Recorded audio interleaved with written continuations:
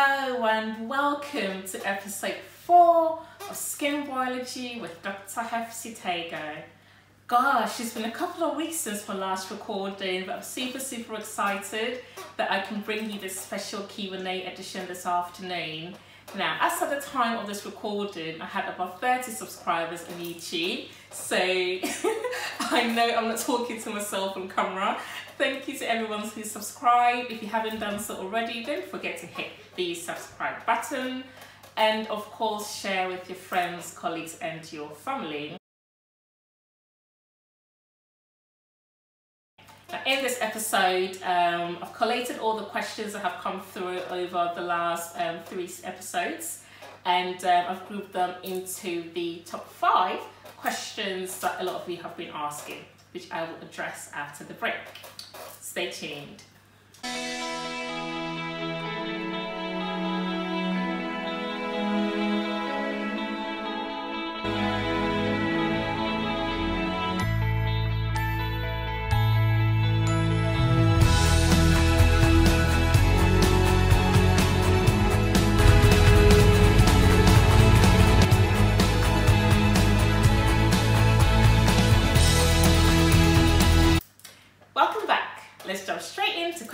One. Why do I itch after having a bath?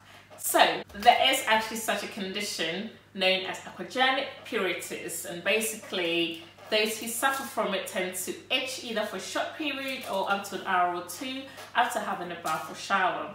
What causes it, no one really knows, but there are some remedies that have been proven to help relieve that itch. The most common one is by adding bicarbonate of soda to your water. Does it work? Sorry, can't tell you. Why don't you try it and let me know?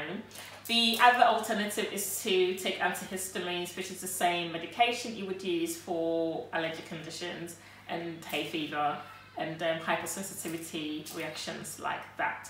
Um, interestingly, it tends to occur a lot more when using cold water and also when you're exposed to rainwater. So perhaps try using warm water um, lukewarm water, not too hot, and see if that helps elevate the itch experienced after having a shower.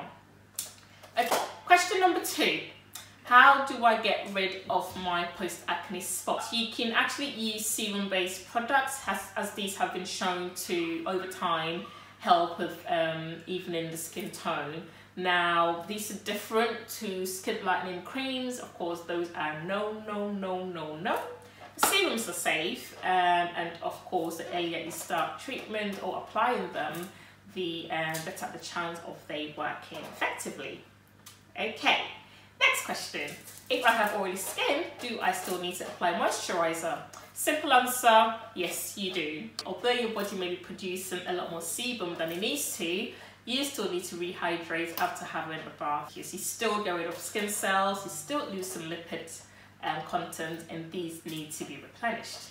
Okay, now the last question said, every time I use a hand sanitizer my hands go dry. Yes, that will happen and that is expected to happen just because it have high alcohol content and alcohol evaporates and with it it will take some moisture away from the skin. So um, some high grade um, sanitizer would have glycerin based emollients in the formulation and so it won't go as dry as some of the other cheaper versions on the market. But you can always, um, everyone should have a hand cream in their handbag or your pockets. And uh, yeah, just apply some hand cream afterwards. And last but not the least, so in episode one, I talked about how you can use humidifiers to help um, put moisture back in the environment or the room that you're in. And so I've got one here that we use at home that I would show you. This is what a humidifier looks like. Basically, you would, um, I haven't come up with battery operated ones, but it comes, you have to plug it in. It goes into the wall. Um, this bit here comes off. You fill the inside bit with water. Close it the beautiful thing about this spoon, I mean it hasn't got water in it now, but it's got remnants of the um, scents that are pouring with the water. So we normally put in um, some kind of minty flavours, you know, that can help ease the breathing as you're sleeping, keep the nice, um, keep the air nice and fresh as well. Keep your pores and nasals all open. So um, I'll put in a few drops of eucalyptus in the water, close it off, plug it in, hit the switch button, comes with a light as well, praise the ambience for night time. And then yeah, you would just um, you'll start vaporizing. The water is basically vaporized, and so it puts moisture in the air. I got this from Amazon. I will put the link in the footnotes, and um, affordable, very very affordable. We've got um, about three for the main rooms in the house. Okay, so that's so there you have it for your top five questions over episode one, two, and three. I hope they've been useful. Now, do keep sending your questions in. Next week, we are talking about eczema. Um, yes, eczema can be a pain. So um, stay tuned. Don't forget to subscribe.